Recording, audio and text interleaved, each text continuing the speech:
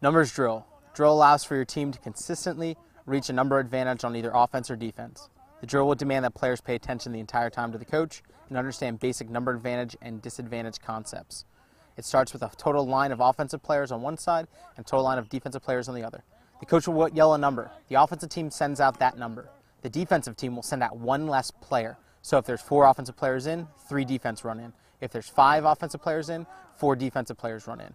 You can even even this drill up and send out the even numbers, where if coach yells out four, he'll send out four offensive players and four defense, or five, five, and five.